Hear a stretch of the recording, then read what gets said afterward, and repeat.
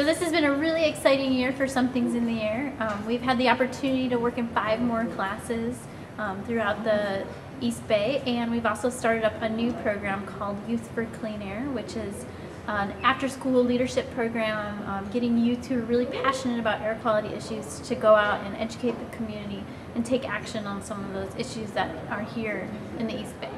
We work with the same 10 students once a week throughout the year and we go through the same curriculum that we run in the classroom with these students, but then we build off of that and we actually give the students an opportunity to lead their own research project, gather their own data, and use that data to inform and educate the community on some of the air quality issues. They are located near many different truck routes, and so the truck routes are said to have influenced almost um, asthma rates that are four times higher than any other part of Alameda County.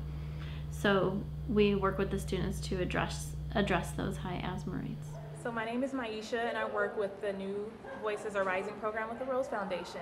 Um, and so the Youth for Clean Air program is really in line with New Voices mission of growing grassroots leaders with youth um, that can take the lead on and be a voice for their communities and working toward an environmentally just uh, community and society.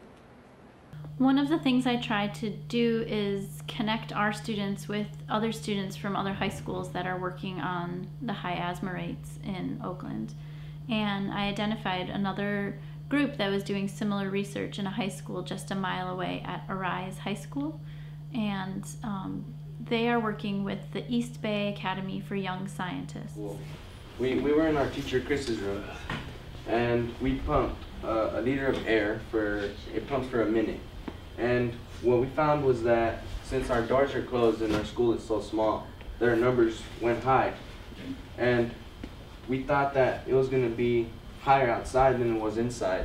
But we were wrong because in our school, our hypothesis was that since our school is small, we don't have we don't have we have windows, but they're not open.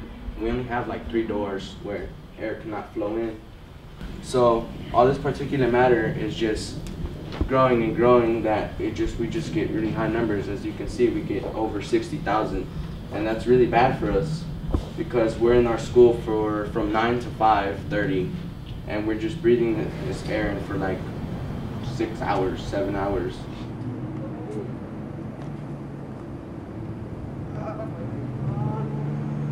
We're here at the California Air Resources Board attending a public meeting on um, a diesel truck item that will affect uh, bringing cleaner burning engines into the trucks that run through the 880 to the Port of Oakland.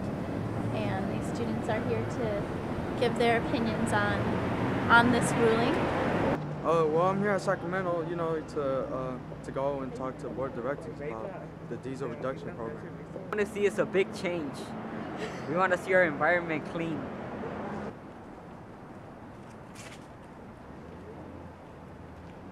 what we did was basically we wrote a letter saying why um, how diesel is really affecting our community, and we had to go up um, in front of the whole people and read our letter and tell them why we want to reduce diesel and like really like speak up and let them hear our voice and really support it. My name is Miguel Alejandre. Uh, I'm a student at Mandela High School in Oakland, and I think that the diesel engine trucks have a big impact on my city of, in my city of Oakland. I live near a truck route area in which the asthma rate is very high, and it's 90, it's 49.6% of the neighbors that are Latino.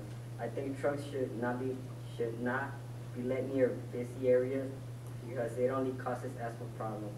From this program, we went to Sacramento, and we got to speak up in the California Air Board research and right there um, we went and speaked up and told the director about how we felt about diesel in our community and how it was affecting our families and our communities. At the beginning I was kind of scared but then I was able to read my letter and tell the director how I felt and at the end yeah I was really happy I got to speak up.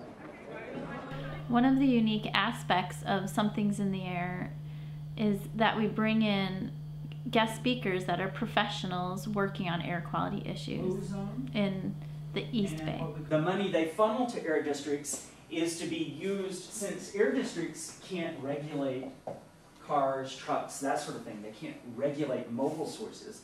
They give us money that goes into um, putting uh, filters on a diesel truck, or uh, retrofitting a car, replacing it, or uh, doing hybrid school buses, or uh, bike uh, lockers, bike parking spaces, all kinds of different things like that that we fund. One of our guest speakers in indoor air quality is from the Environmental Protection Agency, Shelley Rosenblum. We also have guest speakers from the American Lung Association uh, that come in and do uh, presentations with the students to look at different asthma issues and also give them education on how to manage their own asthma. This year we've been focusing the Youth for Clean Air program at Mandela High School and we work in partnership with the Rose Foundation and um, we are supported by funders like the Environmental Protection Agency, the Bay Area Air Quality and Management District, Kaiser Permanente, and the San Francisco Foundation. And it's um, made such a wonderful year and we are really excited to wrap up the year with some great success.